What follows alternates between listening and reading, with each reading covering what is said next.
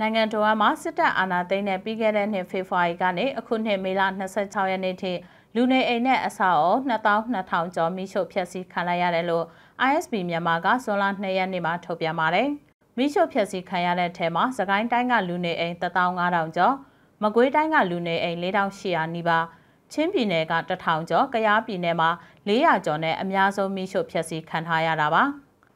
ISP မြန်မာရဲ့အဆိုအရအခုနှစ်မေလအတွင်းမှာလူနေအိမ်နဲ့အဆောက်အုံ9600ကျော်မိရှုဖျက်ဆီးခံခဲ့ရပြီးစစ်တပ်အာဏာသိမ်းကာလအတွင်းအများဆုံးမိရှုဖျက်ဆီးခံခဲ့ရတာဖြစ်တယ်လို့ဆိုထားပါတယ်။ဒါအပြင်လူနေအိမ်နဲ့အဆောက်အုံတွေဟာတိုက်ပွဲဖြစ်စဉ်တွေမှာမိရှုဖျက်ဆီးခံခဲ့ရသလိုတိုက်ပွဲတွေအတွင်းလက်နက်ကြီးကြားရောက်ပောက်ကွဲတာကြောင့်မီးလောင်ပျက်စီးခဲ့ရတယ်လို့ထုတ်ပြန်ထားပါတယ်။လူနေအိမ်တွေအများဆုံးမိရှုဖျက်ဆီးခံရတဲ့စကိုင်းတိုင်းဒေသခံတို့ကတော့ လူနေအိမ်နဲ့ဘာသာရေးဆိုင်ရာအဆောက်အုံတွေနဲ့စာသင်ကျောင်းတွေကိုစစ်ကောင်စီတပ်ကစစ်ကြောင်းထိုးလာစဉ်ရွာစဉ်လှည့်ပြီးမိရှုဖျက်ဆီးသွားတာဖြစ်တယ်လို့တန်လင်တိုင်းကိုပြောပါရယ် ISB မြန်မာကတော့လူနေအိမ်နဲ့အဆောက်အုံတွေမိရှုဖျက်ဆီးခံရတဲ့အချက်လက်တွေကိုလွတ်လပ်တဲ့သတင်းမီဒီယာတွေနဲ့အရက်ဘက်အဖွဲ့အစည်းတွေရဲ့ထုတ်ပြန်ချက်ပေါ်အခြေပြုကောက်ယူထားတာဖြစ်ပြီးမြေပြင်မှာအခုထက်အများကြီးပို့နိုင်တယ်လို့ဆိုထားပါတယ်။